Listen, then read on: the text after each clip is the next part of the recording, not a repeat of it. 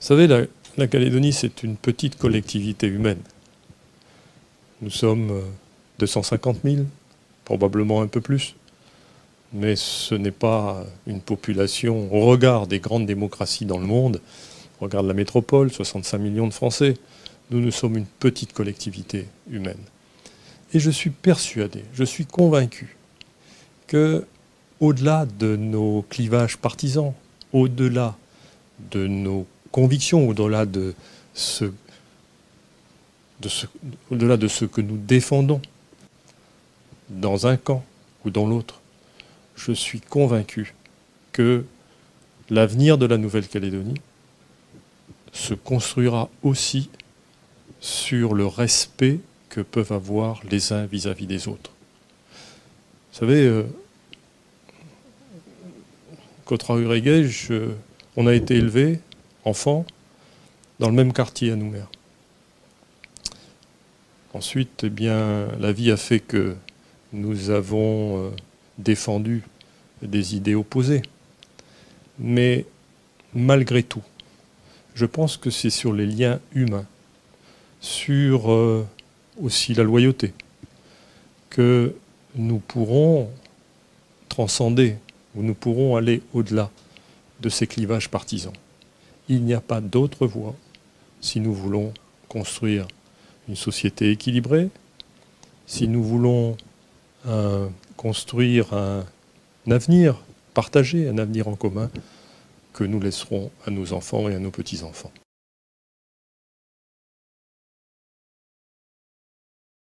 Qu'est-ce que je pourrais regretter? Euh, Quel geste ai-je fait? Euh, vous voulez parler de ma proposition euh, des deux drapeaux, qu'est-ce que c'est que cette proposition? C'est un peu en lien avec la précédente question que vous m'avez posée. Si en Nouvelle-Calédonie, alors que nous sommes encore une fois une petite communauté humaine, nous ne sommes pas capables de faire les gestes non seulement de réconciliation, un geste de réconciliation, ça a été la poignée de main des années 1988 entre Jacques Lafleur et Jean-Marie Chibaou. Et je rappelle que ce geste, que cette poignée de main, c'était pas seulement pour mettre un terme à la guerre civile que nous avons connue pendant trop d'années et qui a fait trop de dégâts, trop de drames en Nouvelle-Calédonie. C'était aussi pour se dire, eh bien, on se tape dans la main et on se donne ce défi de construire ensemble. Ce que j'ai voulu faire, quelques années plus tard. Parce que cette poignée de main, elle est comprise par notre génération, par la mienne, celle qui a vécu euh, dans ses tripes euh, les événements. Mais cette poignée de main, elle n'est pas comprise par la génération des trentenaires, elle n'est pas comprise par la vôtre. Parce que ce n'était pas, leur, pas leur période, ce n'était pas leurs événements. Eh bien, j'ai souhaité euh, que au travers de cette reconnaissance mutuelle, bleu, blanc, rouge et le drapeau identitaire kanak, j'ai souhaité donner un espoir à cette génération, qui est celle de mes enfants, la génération des trentenaires. Parce que je, pense que cette génération est plus apte à comprendre l'autre et à l'accepter tel qu'il est. des deux côtés d'ailleurs, vice-versa. Et ce que je ne souhaite pas, c'est que nous imposions, nous, nous, notre génération, celle qui a vécu les événements, que nous imposions les mêmes schémas euh, que nous avions, nous, en tête dans les années 70-80 et qui nous a amenés aux événements. Et donc, euh, j'espère que ce geste qui, effectivement, n'a pas été compris, n'a pas été accepté par un certain nombre euh, d'entre nous, sera progressivement mieux compris et que surtout, surtout, la génération des trentenaires, et je rappelle que c'est 50% de la population aujourd'hui, sera en capacité de comprendre et d'admettre, d'admettre que rien ne peut se construire si on reste dans une opposition telle que nous l'avons connue, telle que nous l'avons vécue nous dans les années 80.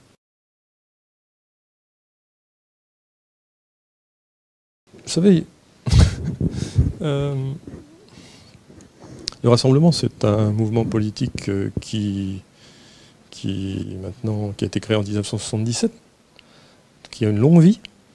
Et dans cette longue vie, il y a eu plusieurs histoires, il y a eu plusieurs étapes. Il y a eu euh, l'étape de sa création en 1977, et il y a eu, euh, en conséquence de cette création, la constitution du rassemblement, il y a eu la période de la guerre, il y a eu la période de l'opposition frontale. Et c'est autour du rassemblement que s'est créée une dynamique pour euh, empêcher que l'on se fasse foutre en dehors du récif. Voilà. Et puis ensuite, il y a eu 1988. Il y a eu la poignée de main. À ce moment-là, on est passé d'une opposition frontale avec les indépendantistes, je parle du rassemblement, euh, à la nécessité de travailler ensemble. Donc ça, ça a duré un certain temps. Et puis, le temps passe, et c'est ce que je vous disais tout à l'heure. J'ai constaté, moi, qu'au bout d'un moment, eh bien, cette volonté commençait un peu à, s'étioler, perdait un peu le, notre cap, et euh, c'est la raison pour laquelle j'ai souhaité, parce qu'encore une fois, il y a une nouvelle génération qui vient derrière nous, c'est elle qui a la responsabilité, non seulement de choisir ce que l'avenir de la Nouvelle-Calédonie, au moment du référendum, j'espère qu'on pourra proposer une solution, aux Calédoniens. Et ce sont eux qui choisiront. Mais c'est aussi pour cette génération de trentenaires que tout ça est fait. Parce que c'est elle, c'est cette génération qui aura à mettre en œuvre et qui vivra une période que moi je ne vivrai plus, que je ne vivrai pas, ou enfin pas en tant qu'acteur. Et donc euh, cette poignée de main, encore une fois, c'était bien pour aller vers l'autre, c'était bien pour reconnaître l'autre tel qu'il est. Et euh, ben, j'ai cru comprendre que, euh, probablement euh, du fait de la défaite aux, législatives, que ben, finalement, ben, Gaël et d'autres considéraient qu'il était peut-être plus facile ou plus, raisonnable, si c'est plus raisonnable, mais enfin, il était préférable d'envisager les élections de 2014 et la suite bloc contre bloc, en opposition avec les indépendantistes, et puis que le meilleur gagne. Eh bien, je pense que ce n'est pas effectivement la raison d'être du rassemblement aujourd'hui.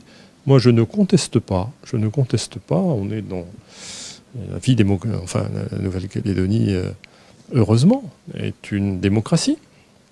Il y a des élections, chacun s'exprime, chacun a le droit euh, d'exposer, de présenter son opinion, euh, de présenter ses convictions. Mais à ce moment-là, euh, il faut être capable de les assumer. Donc moi, je, pense qu'effectivement, on peut exister en, opposition aux indépendantistes. On peut exister. Mais à, ce moment-là, il faut dire qui on est. Il faut dire qui on est.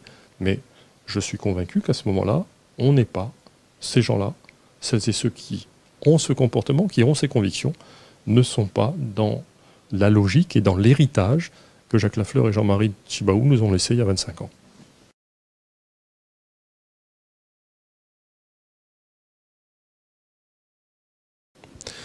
Ah, écoutez, pardonnez-moi, mais je crois qu'il ne faut pas tout confondre. Hein. Euh, le problème de l'affaire Cahuzac, euh, c'est quelqu'un qui effectivement euh, a, a, menti, et euh, a menti alors qu'il était ministre chargé du budget, chargé des contrôles fiscaux, et que lui-même par ailleurs euh, cachait de l'argent euh, à l'étranger, de l'argent qui effectivement sur lequel il n'a pas payé ses impôts. Bien.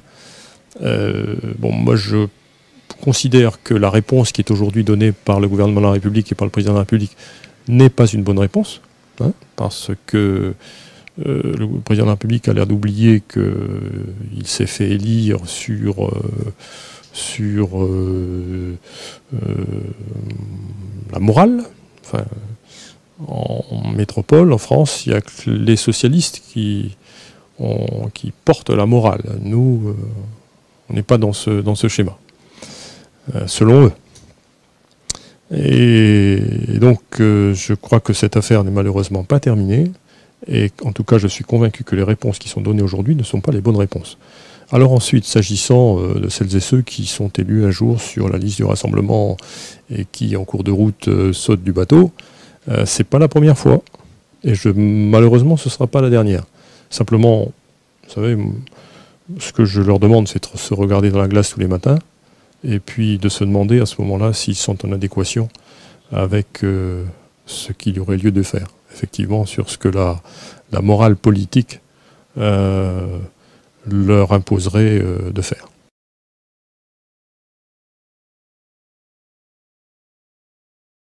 Vous, avez tout à fait raison, je me suis souvent posé cette question, parce que ben, pour chacun d'entre nous, la vie sur Terre a un terme. Et au moment de sa vie, on se dit, euh, bah, peut-être j'ai assez donné et d'autres choses à faire.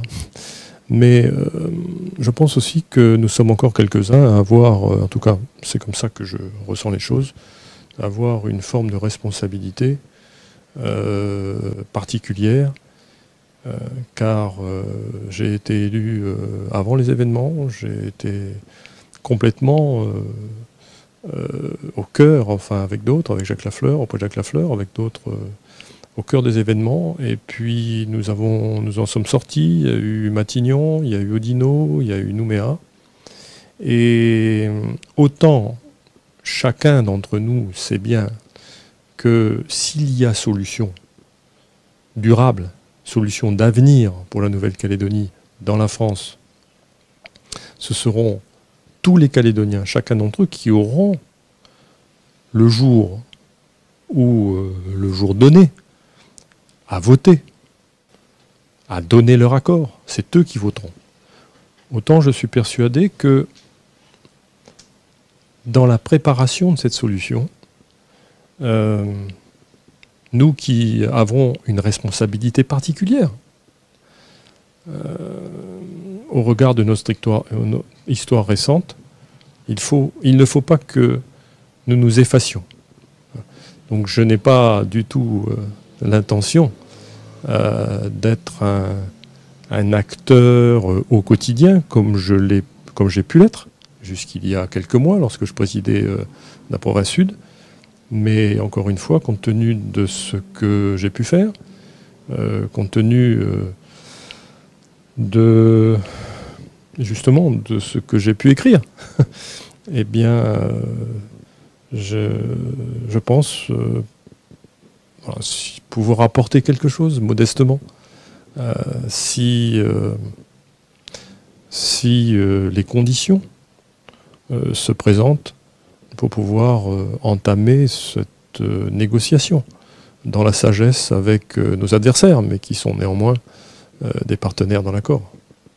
Merci de m'avoir offert cette possibilité.